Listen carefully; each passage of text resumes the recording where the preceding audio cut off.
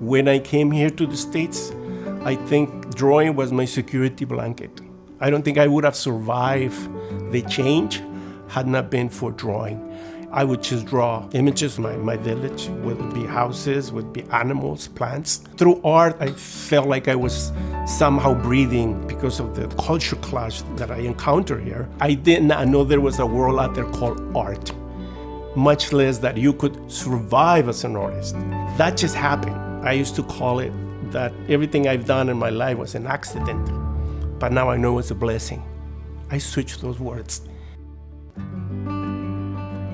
The ideas come in different ways. Sometimes reading, I love to read, and I, I, would say that most of my inspiration comes from that. Is is basically just interpreting in my way through images, writing a resume of what I read.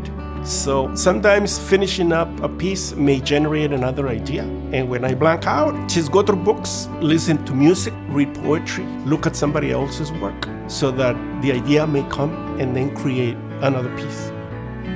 All your pieces are, are unique, special, because they take a lot of your time and you choose your pieces, but it's just like your children. They're all different, but at least they're your children.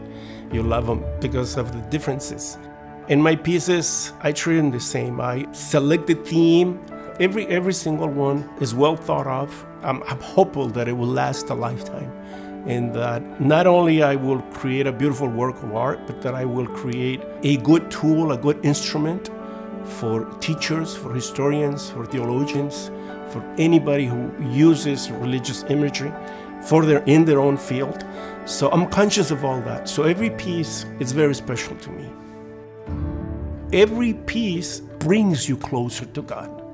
I mean, you, you live it. I come in here and the energies that are here bring me closer to God. Painting is my language.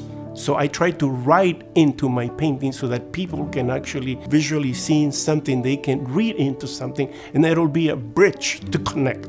In here is my piece in the studio. I create best way I can using all the elements in art.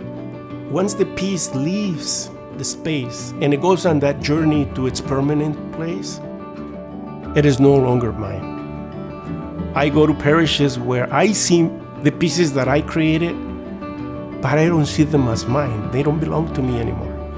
And the piece that I created here as a work of art now has become sacred because the people have made it sacred. I didn't do that. My name is Lalo Garcia, and I am and LA Catholic.